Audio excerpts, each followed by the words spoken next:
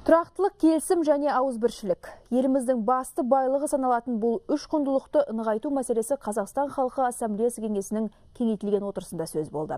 Астанадағы бейбітшілік және келісім сарайында өткен жиында ел ертеңі үшін маңызы зор тың бастама көтерілді. Келелі кеңесте биыл елімізде президент сайлауын өткізу туралы бастама күн тәртібіне шығарылып, кеңес мүшелерімен бір ауызда мақұлданды. Қазақстан халқы ассамблеясы кеңесінің кеңейтілген отырысында екі мәселе қаралды. Алғашқысы ассамблея жылы. Кеңес мүшелері жылда мейлінше мазмұнды өткізу жайын талқыға салды. Басты екпін елдің тыныштығын, татулығын, келісімін насихаттауға берілетіні сөз болды. Екінші мәселе ел бірлігі. Дәл осы тақырыпты сарапқа салу барысында тың бастама көтерілді. Кеңес мүшелері биыл президент сайлауын өткізуді күн тәртібіне шығарып, бастаманы бір ауыздан мақұлдады. Мұндай ұсынысты көпшілік күтпеген рас, алайда бұл ел ертеңіне алаңдайтын әрбір азаматтың көкейінде жүрген ой депутаттардың өңірлерді аралауы барысында мыңдаған тұрғындар осы мазмұндағы тілектерін білдірген. Бұқаралық ақпарат құралдарынан жалпы әлемде болып жатқан жағдайлардан біліп көріп жүрміз.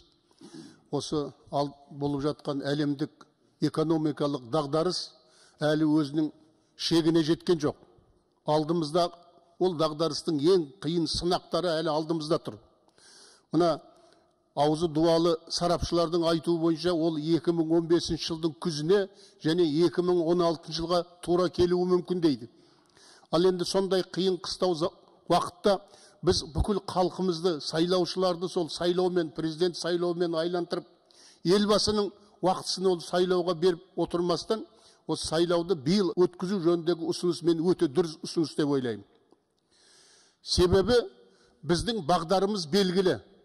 Кешегі нұрлы жол балашаққа бастау жол жолдауында елбасы алдымыздағы істейтін жұмыстарымызды бәрін ашып айтты.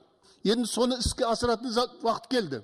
Осы жаңа мен әріптестерім жариялаған біздің ұсынысты биылғы жылы әсіресе елбасына біз осыны ассамблея атынан ұсынғанымыз дұрыс. Және елбасы осыған да өте мұқияттылықпен қарайды деп сенемін.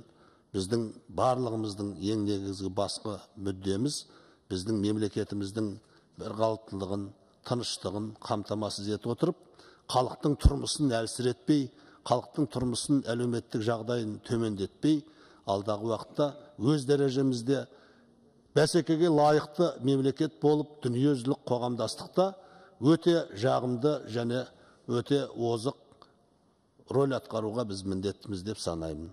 Ассамблея мүшелерінің бұл бастаманы дәл қазір көтеруде бекерден бекер емес.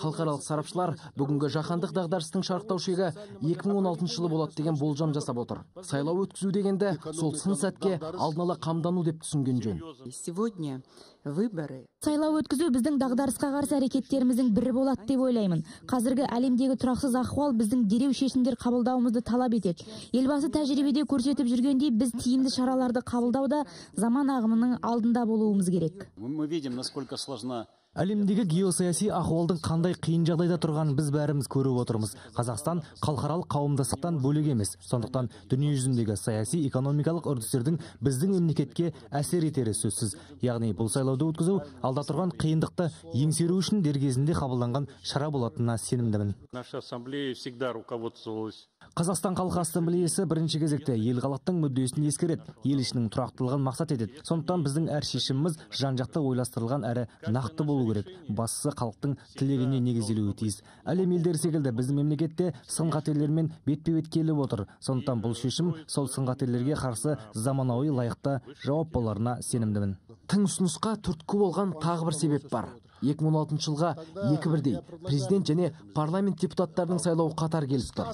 Президент сайлауын биыл өткізу әуелі сол электоралды кезеңдегі қарбаласты сейілтудің қарекеті. Мақсат уақытты үнемдеу. Әлемдегі жағдай өзі қазақстанға әсерін тигізіп жатыр.